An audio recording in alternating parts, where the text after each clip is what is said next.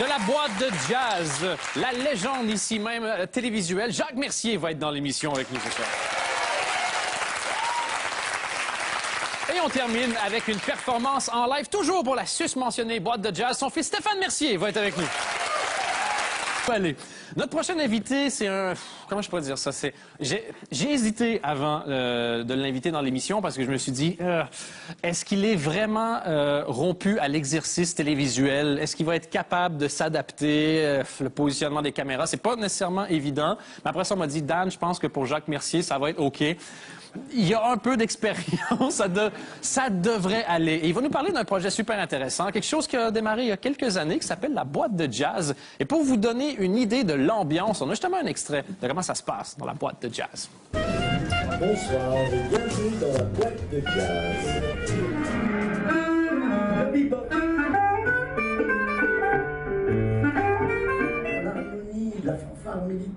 Le symphonique, les percussions, la danse, un bordel, un carreau, un jazz. Railroads. If you should miss the A train. Je vous demanderai de l'accueillir, mesdames et messieurs. Voici Jacques Mercier. Salut Jacques. Comment ça va? C'est comme ça, aux États-Unis, comme ça. Merci beaucoup d'avoir accepté l'invitation. Oh!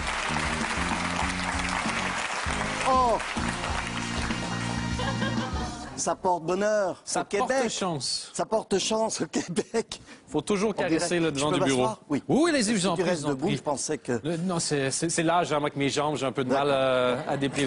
Vous avez l'air en pleine forme. Je le suis. Comment, c'est- comment ça se passe? Comment vous faites? C'est quoi votre... Parce que vous avez... j'ai- Moi, j'ai envie de dire, ah, Jacques Mercier a fait environ 87 ans de télé, donc j'additionne ça. Je me dis, comment- Écoute, euh, je, veux- je voudrais d'abord dire que je me sens en forme parce que je suis intensément heureux. Oui? Qu'est-ce qui se passe? Tout est bien. Toi, La vie est belle. Que- comment vous faites? C'est quoi le truc? Il est où le bouton? Je, je pense que vous pouvez vendre ça. Non. mais ça se passe bien pour vous, sérieusement. Bah, tout, euh, c'est-à-dire que je vis des vies supplémentaires auxquelles je m'attendais pas. Être sur scène, euh, j'ai jamais rêvé d'être sur scène. Je faisais de la radio, déjà, je faisais de la radio euh, comme assistant. Je voulais pas qu'on entende ma voix, puis on a entendu ma voix, puis on a dit bah maintenant tu peux faire de la télé, bah, la télé, et puis après de la scène. Bah, Comment ça... c'est- Parlez-moi du projet. Comment c'est ça a commencé, la boîte de jazz? C'est quoi exactement? Parce que moi, je l'ai vu passer pas loin de chez moi. Je me, c'est- c'est- je me Alors, demandais, y je sais a- pas, il y a c'est quoi une truc? boîte C'est noire. littéralement une boîte, Une boîte. qui se promène. Voilà qui va de ville en ville, qui reste 15 jours sur, euh, sur une place. À l'intérieur, on a reconstitué une vieille, euh, une vieille boîte de jazz euh, un- un- où on donnait des concerts dans les années 30-40, avec des dénivellations comme aux États-Unis et tout. Et il y a un set de musiciens. Et en réalité, je suis, on l'a vu là, je suis le patron de cette boîte de jazz. J'ai 100 ans, je les ai presque. Hein. Je, 100 je- ans. jamais je ne Oui, oui.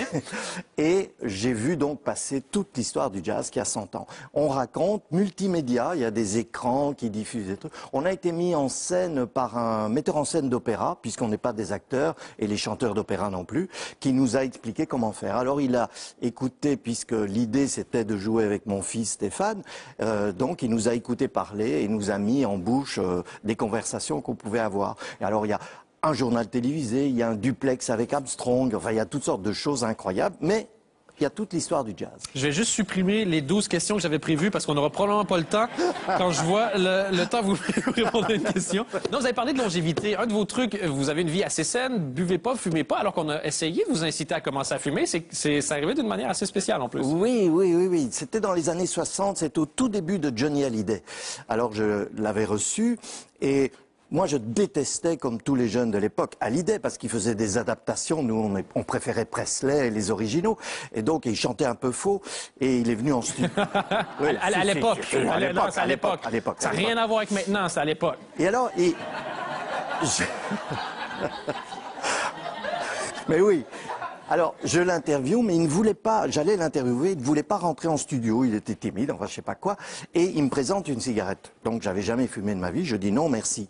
Et comme il avait l'air un peu, il venait d'un repas, il avait l'air un peu éméché. Johnny Johnny. Alors, il insiste, Jacques. il insiste, il dit si, allez. Et puis il me dit cette phrase. Tu pourras dire que ta première cigarette, avec l'accent de Johnny que je peux pas faire, hein, tu pourras dire que ta première cigarette, euh, tu l'as, tu l'as fumée avec Johnny Hallyday. Et moi, je me disais dans ma tête à ce moment-là, ce pauvre con, s'il croit que dans deux ans on parle encore de lui. Eh ouais, on pouvait pas. Comme quoi, parfois. Oui, faut pas se fier aux apparences. hein. D'ailleurs, parlant de pas si aux apparences, vous êtes en train de devenir une superstar en Amérique latine. Ah, euh, C'est... je touche euh, Caribou là. Euh, Qu'est-ce qui se... De bah? C'est-à-dire qu'il y a une jeune dame, une jeune fille même, de Caracas au Venezuela, qui est tombée fan de mes livres et qui a décidé de les traduire en espagnol. Sérieux? Elle est devenue mon agente littéraire, non seulement pour l'Amérique du Sud, mais pour l'Amérique du Nord.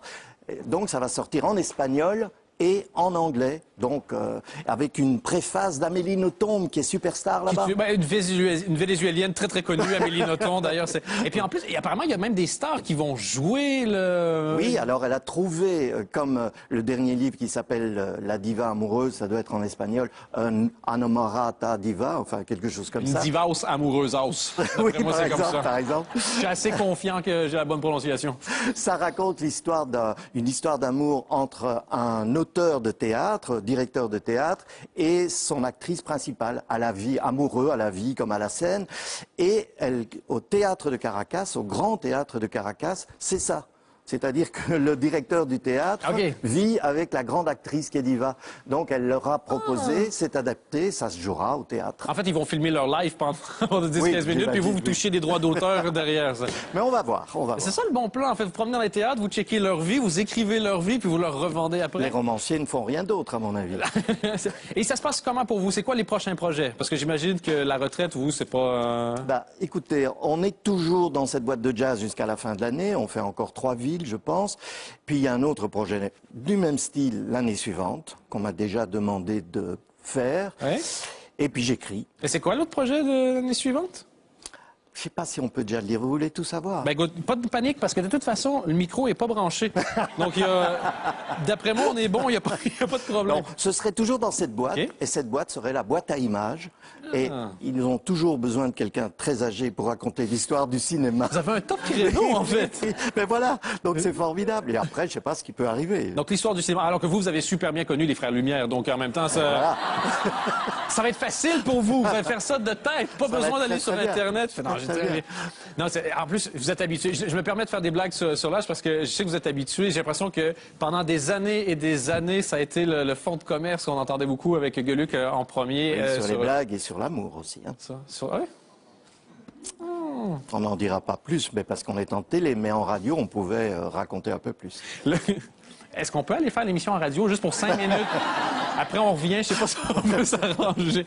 Et puis, on a, on- je veux pas dire que c'est une surprise parce que vous êtes au courant, étant donné vous étiez dans la même loge, mais on avait envie, vous avez parlé du projet de la boîte de jazz, on avait envie, au lieu de juste discuter puis de voir quelques images, de le vivre en live. Et ça tombe bien parce qu'avec Vincent Brunings et puis euh, Stéphane Mercier, votre fils, qui sont euh, donc dans le projet aussi, ils sont juste, juste derrière le panneau ici. Ils vont nous faire un extrait et je crois qu'ils vous ont caché la chanson qu'ils vont, qu'ils vont interpréter. Et apparemment, c'est quelque chose qui vous touche particulièrement. Donc, si vous voulez chialer, n'hésitez pas, c'est bon pour les audiences. D'accord. Les lunettes embuées, vous pleurez, vous roulez-vous par terre. La cravate autour de la tête, courez à poil, c'est bon. Tout ça, c'est bon pour... Ça cartonne pour les audiences. Cours à poil, c'est ça que tu as dit Cours à poil, ouais. Ça se peut que le générique démarre un peu rapidement. Je vous demanderai de les accueillir, mesdames et messieurs, pour la boîte de jazz Vincent Brunix et Stéphane Mercier. C'est des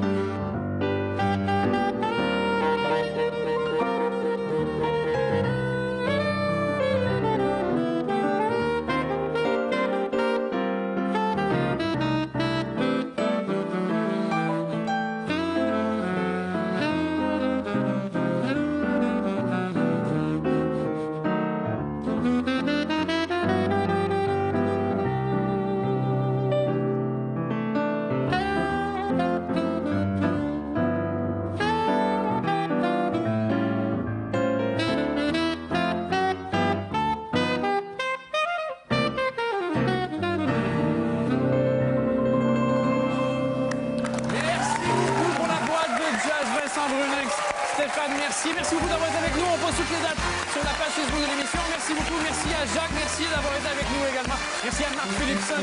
Merci à Stanislas. Si vous voulez faire partie du public pour la prochaine, c'est simple sur la page Facebook de l'émission. Toutes les séquences sont à revoir sur la page aussi RTBF.